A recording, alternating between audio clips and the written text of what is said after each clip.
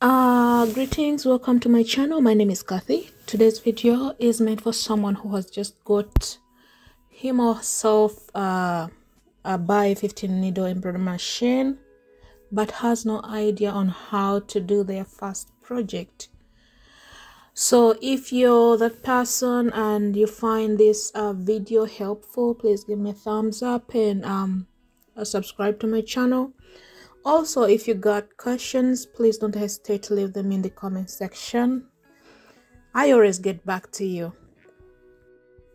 So when you turn on uh, your machine for the first time uh, you'll have this screen pop up saying uh, emergency stop. Uh, don't freak out if this happens because um, it's a normal thing uh, most of the times when you get a new machine they put the machine uh, in an emergency stop to protect your machine. So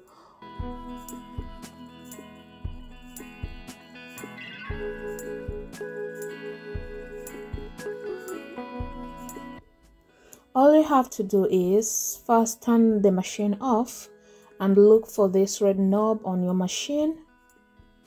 Uh, twist it up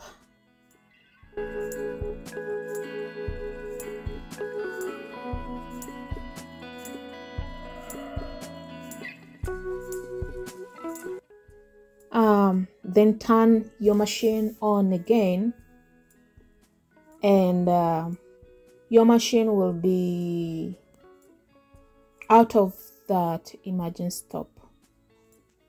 To transfer your embroidery design to the machine insert your flash drive. Uh, remember to turn off the embroidery mode uh, by pressing the EMB then OK. Then look for the flash drive icon on your machine.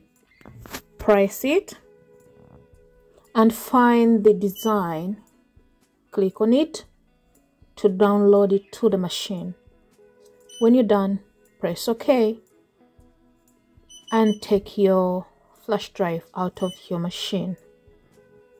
Now that your design has been copied to the embroidery machine click on the flower icon to find your design then click on it to open.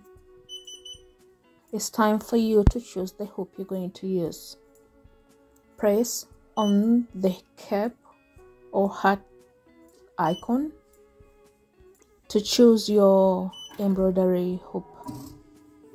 One thing you have to note is before you choose a hoop and pressing OK, make sure if your embroidery machine had a, a, a cap driver installed, make sure you uninstall it first before you press OK.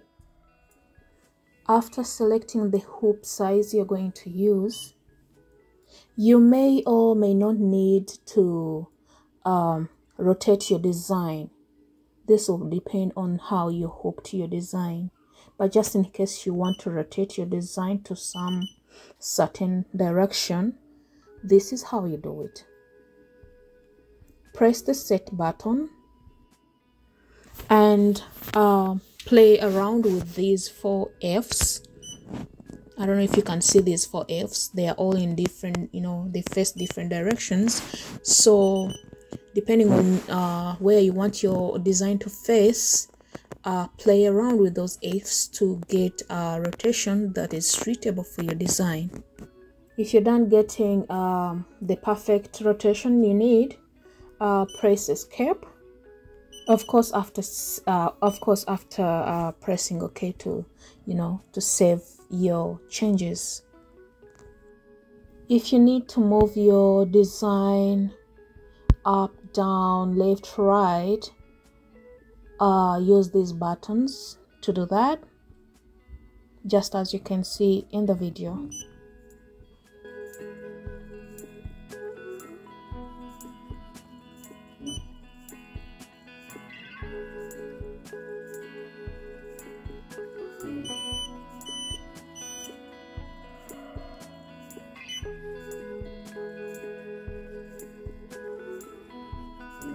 Um, trace your design to make sure that when you start embroidering your needles will not um, will not touch the hoop.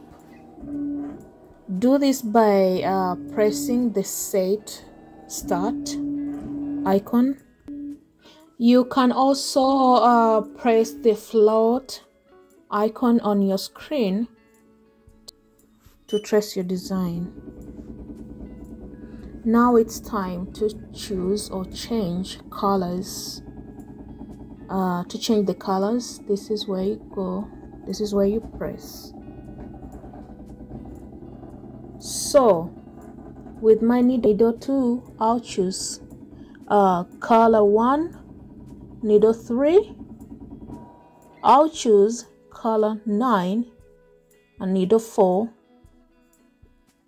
I'll choose color 4 oh I need to change it. I'll use color 3 needle 5 I'll use um, color 3 again. And needle 6 I'll use color 9 when you're done press ok. And that is it. If you're done choosing colors and you feel everything is okay you can go ahead and start embroidering. Press the green button to command your machine to start embroidery. I hope this video has been helpful. Please give me a thumbs up, share, subscribe, ask questions if you have any questions in the comments. Until next time, bye bye.